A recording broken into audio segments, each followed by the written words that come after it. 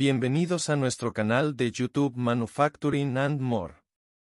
Hoy vamos a hablar sobre un tema muy interesante, el justo a tiempo.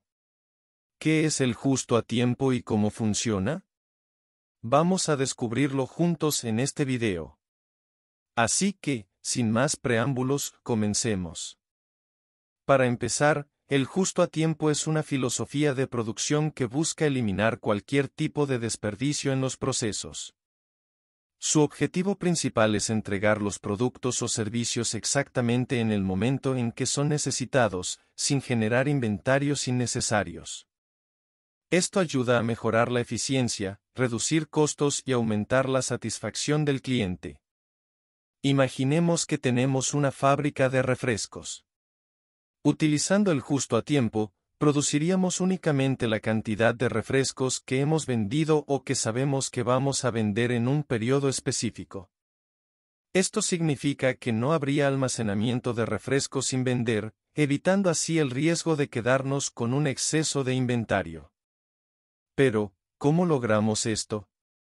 Una de las claves del justo a tiempo es la comunicación eficiente con los proveedores. Necesitamos mantener una estrecha relación con ellos para compartir información sobre la demanda real de los productos y ajustar nuestra producción en consecuencia. De esta manera, evitamos la sobreproducción y los productos no vendidos.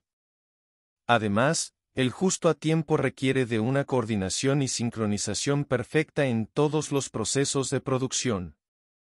Cada etapa debe estar alineada para entregar los componentes necesarios justo cuando se necesitan. Esto implica una planificación precisa y una comunicación efectiva entre los diferentes departamentos de la empresa. Otra herramienta fundamental en el justo a tiempo es el Kanban.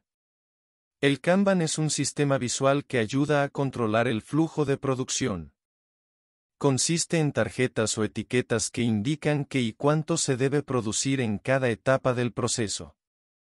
Estas tarjetas se van moviendo de una etapa a otra a medida que se completan las tareas, asegurando que cada proceso reciba lo que necesita en el momento adecuado.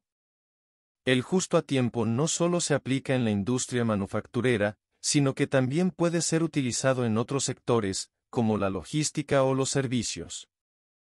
Por ejemplo, en una empresa de mensajería, el justo a tiempo implica entregar los paquetes justo en el momento en que el cliente los necesita, evitando demoras innecesarias. En resumen, el justo a tiempo es una filosofía de producción que busca eliminar el desperdicio y entregar los productos o servicios en el momento exacto en que son necesitados.